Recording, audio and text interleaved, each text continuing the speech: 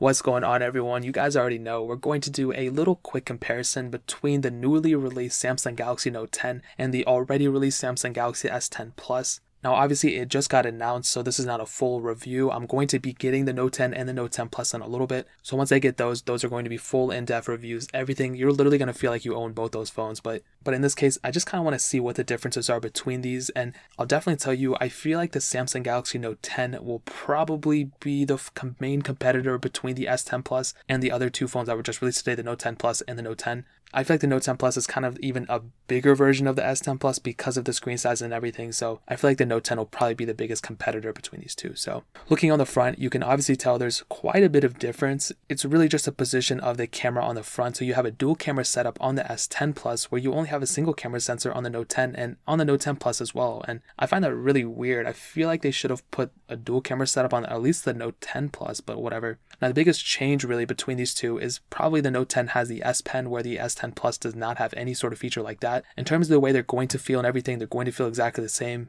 glass on the back, glass on the front, same type of design. The Note 10 does look a little bit more boxy though. The S10 Plus seems a little bit more roundy, if that's even a word. I have the S10 Plus right now and I like it a lot. On the back, we have triple camera sensors on both those devices and I'll get into those in a second. But the one thing I hit on in the last video where the Note 9 and Note 10 and now I need to hit on again is literally the Note 10 has a 1080p display and it's 6.3 inches versus the 6.4 inch dynamic AMOLED display. They're both dynamics on both those devices, but the S10 Plus has a 1440p display. And in my opinion, dude, like I know resolution, whatever you guys can comment on me about it, but I'm telling you, the fact that we're in 2019, the Note 10 costing almost a thousand dollars, and they're releasing it with a 1080p display, in my opinion, that is literally ridiculous. We haven't seen 1080p displays in like the Galaxy S series devices since like the Galaxy S6. The Galaxy S5 was the last 1080p display that we saw on a on a Samsung Galaxy S phone, and and the Note line, we've had 1440p display since the Galaxy Note 4, which is literally ridiculous.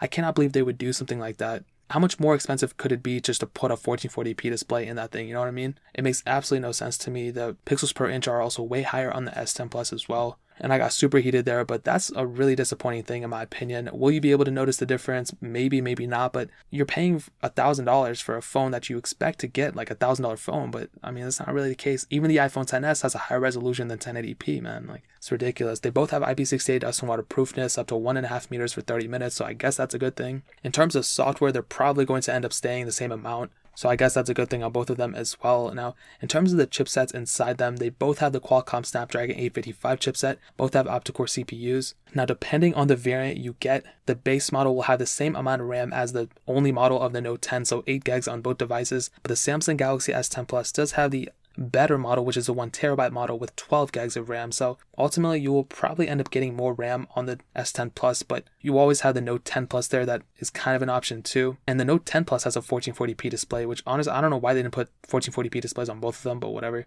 So in terms of performance and everything, they're probably going to be ending up being the same. But if you do get the higher end model of the S10 Plus, you do get that additional 4 gigs of RAM, which is really, really cool. And that's something you will definitely be taking advantage of. I already know it, bro. I know your usage, it's going to be crazy. Camera wise, they both have, like I said, triple camera sensors. They're both the exact same megapixel count on every single one two 12 megapixel sensors and then a 16 megapixel ultra wide sensor. Both can shoot 4K at 60 frames per second. And I'll definitely tell you, maybe the Note 10 is going to be better, probably not. They're probably going to be almost identical. But the one thing and the one advantage that the Note 10 has is that it does have some more photo and video capability. And the one really cool thing that they hit on was actually the audio quality of the Note 10. It should be improved. And that's something that I really hit on. Like when I'm recording a video on my phone or something, like the video looks good or and fine and everything, but the audio is just always so bad. And I've seen this with like all my Samsung phones, all my even my iPhones. It's, it's better for sure, but it's still not as good as I want it to be. So that's definitely one thing they need to improve on. And hopefully, when I do get the Note 10, I'll be able to test that thoroughly.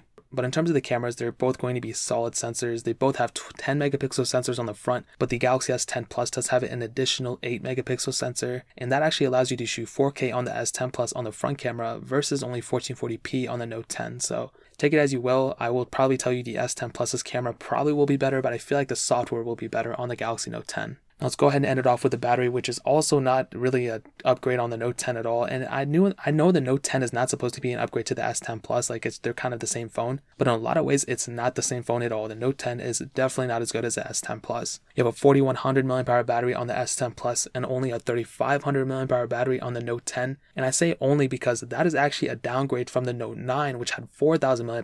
And in my opinion, that is ridiculous. They should have only went up in battery life. There's no reverse wireless charging on the Note 10 either. So I don't understand what they're on about. Like they should have put a 4000 mAh battery in the in the Galaxy Note 10. It makes no sense that they didn't do that. But I guess it's whatever, man. I'm still gonna pick it up. I'm still gonna use it. But right now, what I'm telling you is, it's not even any comp- competition, dude. The S10 Plus is still a far superior phone than than the Note 10, and I don't even understand why they did it. It's still a super expensive phone. If this was like a $700 50 phone like the iPhone 10R was, then I would probably give them a little bit more leeway. I've learned my lesson since then from the iPhone 10R days. But dude, it makes no sense to me right now. They're still selling the Note 10 for a mad amount of money, and it just honestly does not make any sense to me. But man, that's pretty much it. If you guys have any questions or anything, leave it down in the comment section below. Hit that like button, that'll mean so much. But definitely hit that subscribe button. Every single subscriber that we get really does count. So it'll mean so much if you guys could hit that. Also, check out the other links down in the description as well. My Twitter, my Instagram, my second channel. All those links are linked down below. I'd really appreciate if you guys could check it out. But more importantly than everything else, I love every single one of you guys. Hopefully I'll catch you guys in the next video. Peace out till then.